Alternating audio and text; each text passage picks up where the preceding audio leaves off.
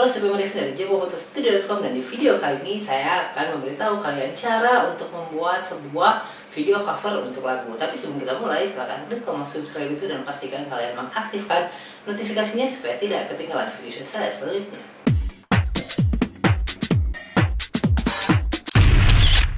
Jika kalian tertarik membuat sebuah channel YouTube yang isinya adalah cover lagu, itu ada beberapa aspek yang harus perhatikan bahwa video cover ini adalah tentang audio dan tentang videonya atau visual dengan audionya. Nah, kalau misalkan itu juga sama berlaku untuk semua jenis genre videografi bahwa selain gambar ada juga suaranya. Nah, berbeda dengan fotografi yang hanya sekedar gambar, videografi ini juga kalian harus memperhatikan aspek suaranya. Kalau kalian ingin asal-asalan membuat sebuah video cover seperti ini,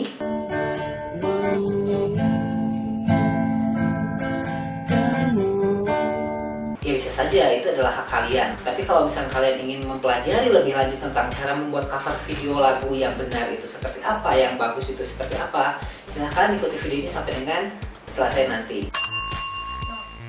Yang pertama yang harus kalian perhatikan adalah siapa produsernya. Untuk membuat sebuah video cover lagu ini butuh uang ya butuh modalnya untuk untuk beberapa hal yang harus kalian biayai nanti. Itu itulah tugas produser jadi kalian harus memiliki sebuah produser untuk memproduksi si video cover ini. Nah, selain itu juga kalian harus memiliki seorang sutradara untuk mengarahkan bagaimana si video cover ini akan disuting dan pengambilan gambarnya itu akan seperti apa. Nah, setelah itu terbagi menjadi dua divisi. Satu divisi visual, sedangkan satu lagi adalah divisi uh, audionya. Nah, untuk divisi visual ini adalah orang-orang yang bertanggung jawab mengambil gambar atau mensyuting gambar si video covernya. Misalkan seorang videografer satu dan videografer dua dan mereka menggunakan alat apa aja itu juga harus kalian pertimbangkan.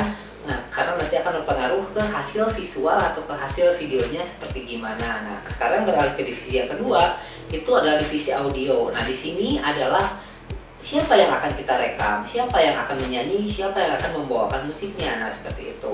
Nah, contohlah untuk vokalisnya, untuk seseorang yang menyanyinya, misalkan bernama Ismi, itu kita harus catat di situ. Terus juga nanti instrumennya akan seperti apa? Apakah kita akan memutar gitar akustik, menggunakan piano, menggunakan biola, atau seperti apa instrumennya?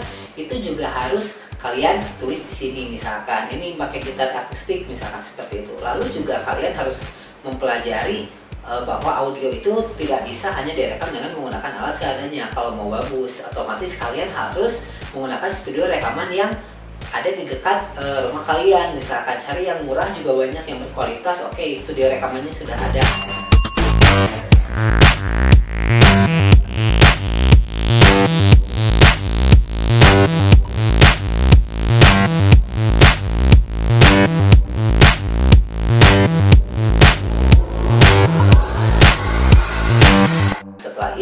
mereka sudah latihan di rumahnya gitu kan dan setelah sudah hafal barulah kita mulai rekaman dulu. Nah kita mulai rekaman dulu di studio rekaman latihan dulu di sana ambil beberapa kali lagu sampai misalkan sudah klop setelah itu baru mulai rekaman. Rekamannya itu dua kali. Yang pertama adalah rekaman instrumental dan yang kedua adalah rekaman uh, si penyanyinya, vokalisnya. Kalau misalkan kalian ambil paket di studio yang termasuk dengan mixing dan mastering, selain rekamannya, rekaman, mixing dan mastering, itu mending kalian ambil di situ. Jadi kalian tidak harus pusing-pusing mengedit audionya di komputer kalian, tapi sudah dieditkan oleh si studio rekamannya. Jadi kalian tinggal terima jadi aja dan itu uh, filenya sangat bagus hasilnya apabila kalian mempercayakan kepada mereka untuk mengolah si audio yang dihasilkan saat rekaman tadi.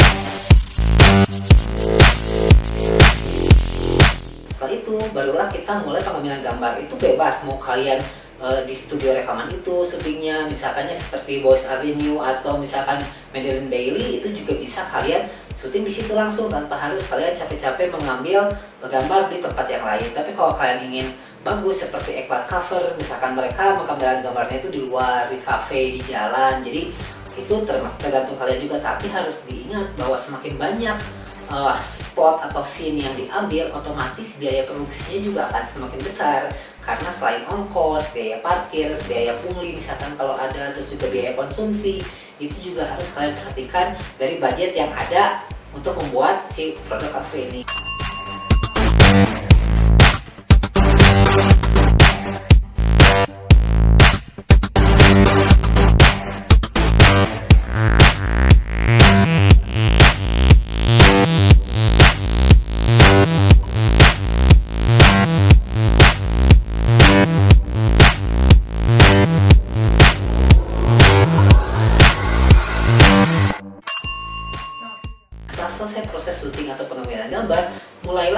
masuk ke proses uh, editing videonya. Jadi kita harus mensinkronkan gambar audio dengan video itu menjadi uh, sama gerakan bibirnya sehingga menghasilkan sebuah video cover yang bagus baik dari segi audio dan juga segi gambarnya. Nah, uh, ini hanyalah sebuah uh, video tentang cara untuk membuat video cover dan juga behind the scene-nya ya. Jadi kalau misalkan kalian ingin melihat si video yang saya buat ini nantinya itu bisa akan saya upload beberapa hari kemudian. Jadi bisa kalian juga tonton oh ternyata hasilnya seperti itu biar kalian tidak penasaran. Jadi itulah caranya supaya kita bisa menghasilkan video cover untuk lagu ya yang bagus jadi tidak terkesan asal-asalan terus juga semuanya digarap dengan profesional.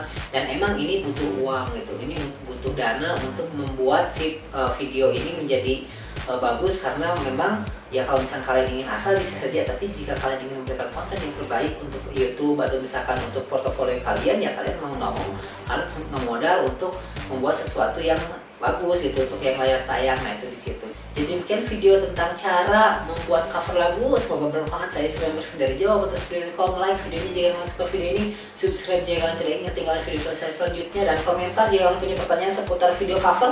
Saya mau bikin cover lagu nih saya bisa nyanyi dan itu bisa kalian tanyakan di kolom komentar. Dan saya kepada teman-teman kalian yang punya rencana untuk membuat cover lagu tapi bingung bagaimana caranya seperti apa. Dan sampai jumpa